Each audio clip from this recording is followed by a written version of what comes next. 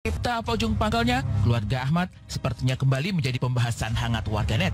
Berbagai kontroversi yang diduga pernah dialami beberapa anggota keluarga ini kembali menjadi sorotan hangat netizen. Ada apa sesungguhnya dengan klan Ahmad sehingga seolah tak pernah lepas dari kontroversi demi kontroversi? Syahnas Sadikah, insting pemburu warganet seolah sulit dibendung. Syahnas yang terlihat lempeng-lempeng saja kala itu, tak luput dari dugaan bermain api. Meski tak berlangsung lama, namun warganet sempat heboh di jagat maya karena dugaan Nanas diam-diam menjalin kedekatan dengan seorang pria. Istri dari pesinetron tersebut kabarnya membongkar dugaan hubungan terlarang Nanas dengan suaminya. Kabar ini terbilang mengejutkan karena Syahnas dan JJ terbilang pasangan yang terbucin. Usia yang terpaut jauh membuat Syahnas begitu dimanja dan JJ aslinya memang tipe suami yang ngemong. Sejauh ini, keduanya pun begitu saling percaya dan menjadi contoh keluarga yang harmonis. Sanggupkah JJ dan Syahnas melewati ujian yang kini datang menghantam?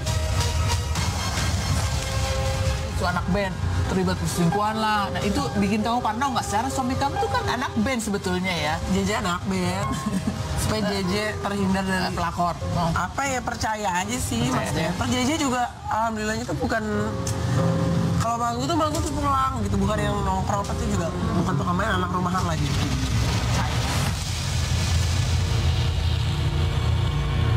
Sementara itu, kontroversi asmara Raffi Ahmad dengan sejumlah wanita tidak kalah menjadi sorotan. Sejumlah nama yang diduga sempat dekat dengan aktor dan presenter multitalenta ini kembali menjadi pembahasan. Selain pesona magis menyihir banyak kaum hawa, Raffi aslinya memiliki bakat usil. Nyaris semua wanita cantik yang ia temui tidak pernah lolos dari rayuan mautnya. Oh. Raffi bener-bener ya. Kan gua gua gua mau belajar. Gua mau belajar. Sama gua di mana? Chris, Chris, Ya kan gua belajar itu. posisi di bawah lagi. Terlalu banyak yang nyakitin aku.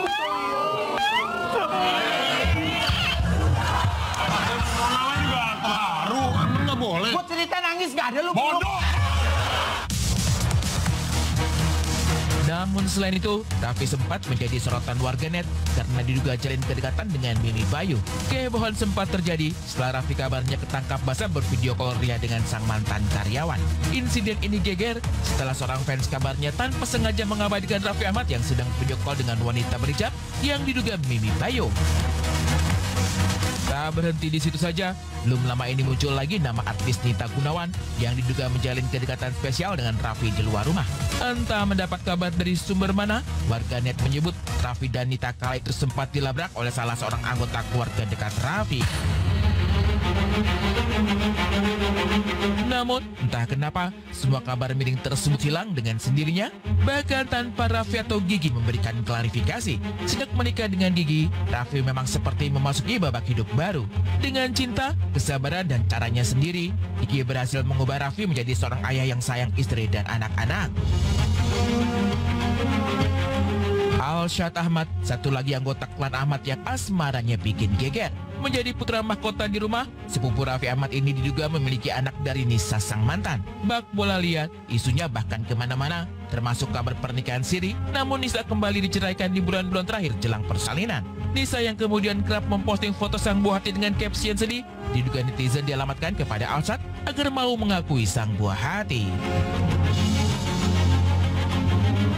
Namun seperti halnya pada Raffi, sempat menghantam begitu hebat. Kini seluruh angin ribut itu seolah reda sendiri, akan tanpa satu kata pun Alsat memberikan klarifikasi ataupun Nisa sang mantan kekasih. Sampai kapankah kontroversi keluarga Ahmad ini menjadi sorotan viral netizen?